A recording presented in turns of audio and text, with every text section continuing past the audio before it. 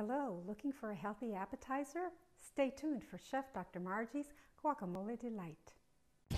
Welcome to Real Food, Real Medicine, where Chef Dr. Margie empowers you to better health through real food, to your health and wealth.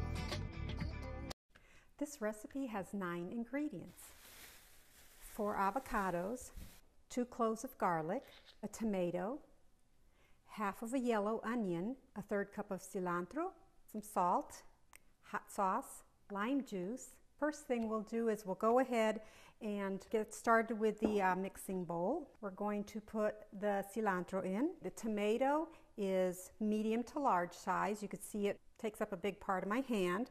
One thing that I do recommend, tip, here is this Pampered Chef digital kitchen scale so that you can weigh more accurately the uh, items that you're adding to your uh, recipe. Let's turn this on and see how much this tomato weighs.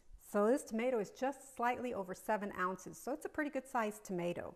And on the cilantro, I love this Pampered Chef herb keeper because it keeps it fresh longer for several weeks in the refrigerator. You add water at the bottom and just keep the cilantro in there and you can keep that for a couple of weeks in your refrigerator so it doesn't go to waste. So on the garlic, we have two cloves and I've got the Pampered Chef garlic press. I love to press my garlic because I think it brings out the flavors better. And this is just an awesome tool to have in your kitchen. And then it's got this little tool underneath so that you can scrape that into the bowl. I'm going to go ahead and cube the tomato. The tip for you here on the tomato. I do recommend that you get rid of all the seeds in the tomato because some people, uh, especially those with diverticular disease or diverticulitis, don't tolerate seeds very well. So you want to make sure you get rid of all the seeds in your tomato. I do also recommend cutting it into relatively small cubes because you don't want huge chunks in your guacamole. Another tip, I'm cutting this tomato on the flexible cutting mat. And it's just a very thin layer uh, plastic type material that has a non-skid surface on the bottom so it stays put when you're cutting your vegetables or whatever you're cutting on it. And uh, it's just very handy. It takes up very little space in your kitchen. So it's that's another good kitchen tip for you is a, it's a space saver. I'm going to gather up the pieces of tomato, make sure that there are no seeds in there. It looks like I have a helper with me here this afternoon, my cat. Every time I'm in the kitchen doing something, he has to snoop around because he thinks he's going to get a little something. And I guess I have been a little guilty of giving him some meat every now and then, so it's that Pavlov's conditioning. He's expecting something. But I don't think he'd like tomatoes, so we're not going to give him any tomatoes. I'm putting this in the measuring cup because I just want to see approximately how much this tomato ends up being because like I said it is a pretty good sized tomato and if you want to have a recipe that duplicates the one that I'm showing you so that uh, when you look at the nutritional info it's going to be pretty accurate. Uh, that's why I'm going to go ahead and measure it with a, a measuring cup as well because I know not a lot not everybody has a digital kitchen scale uh, to to measure their foods. But I do highly recommend it if you're especially if you're trying to be more accurate in your in your calorie counts and in um, the ingredients that you put in a recipe. Looks like it's going to be pretty close to a cup. Wow. So as you can see, it is pretty close to a cup. Okay, so I'll go ahead and add that in. I'll, for the onion, I'm just going to cut it into four pieces. Okay, and then I'm going to put those pieces in the manual food processor and I'm going to dice it up smaller. That way we don't have to start crying during the middle of the video because the onions kind of get to you. And this is a very handy kitchen tool to have. You can get to about any size uh, of, of uh, dicing that you want with this. So we'll go ahead and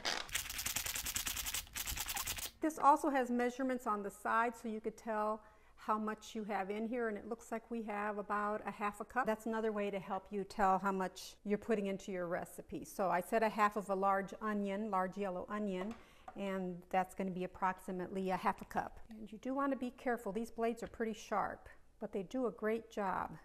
As you can see, that didn't take hardly any time at all to do that.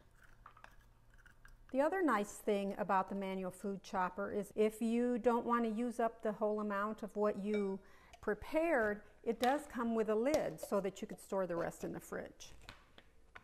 Okay, so that's the onion, then the salt. I'm adding a teaspoon, but we'll just go ahead and measure it out like that. Okay. And of course you could add more or less to taste. Then the lime juice is also a teaspoon, but I'm going to just shoot in a few squirts. One, two, three. And the hot sauce also is to taste. Um, I like mine a little hot, so um, I put in a fair amount. Now I'm just going to mix these up. And I like to do these first because then that way I can make sure that they're mixed pretty thoroughly. Once you add in the avocado, then you might end up with little pockets of something that didn't quite mix and then it's going to taste a little funny. And mm, that smells good. I think that looks pretty good. We'll go ahead and put that over here to the side. And another tip for you uh, to you want to use ripe avocados in your recipe because if they're not ripe, it's not going to taste too good, and, and, and you don't want that. So, uh, ripe avocados, and I usually recommend uh, home ripening them in a plastic bag for two days on your kitchen counter, uh, and then by the time you get to uh, to use them, they should be ripe. Sometimes it does take a little longer, just depends. So I've got four of them. Let me see how much these weigh to give you an idea of how big they are. They do sell those large avocados and I don't really recommend those because I think the taste is a little bit different on them, but I, th I think nutritionally they have less fat or something. There's something about them that's different, but I really like these, okay? And you can see how it fits in the palm of my hand. So that gives you an idea of how, uh, how big it is. And then on here it says it's um, 6.3 ounces. Okay, so it's um, less than the tomato. For the avocados, I cut them into fourths. That way uh, the pit comes out a lot easier. There's one. Sometimes the peel comes off really easily, especially when they're more ripe, and sometimes it doesn't, and then you just kind of have to scoop it out.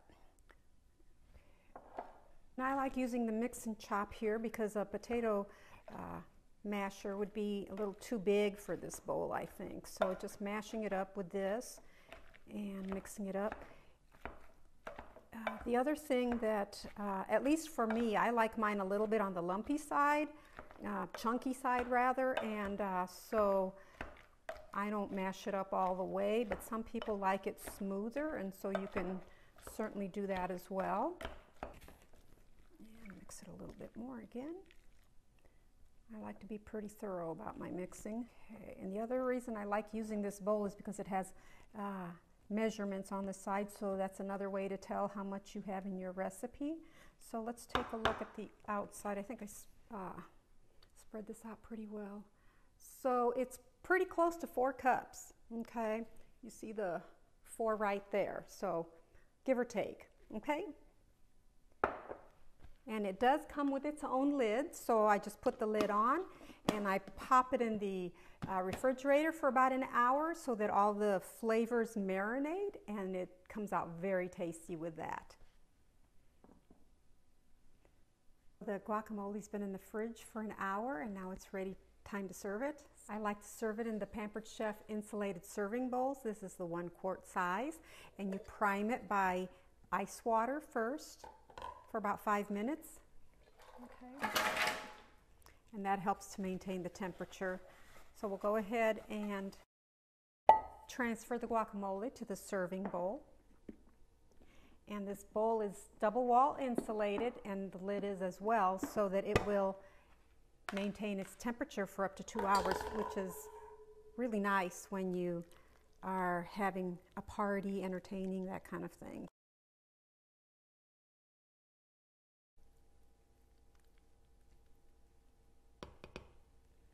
Okay, so there you have it, Chef Dr. Margie's Guacamole Delight.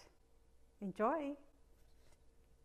Tell me in the comments below what you think of the uh, recipe. I'm also going to post the recipe here in just a sec, and I wanted to tell you a little bit more about the recipe actually as well. This nutritious recipe is low in calories at only 152 calories per half cup serving. It is also low in carbs and natural sugar. It is a good source of fiber and because it is vegan, has no cholesterol. Be sure to check all my links below to contact me, subscribe, shop, and join my team. Thanks for watching and I'll see you again in the next video. From my kitchen and wine cooler to yours, I wish you a bon appetit. To your health and wealth.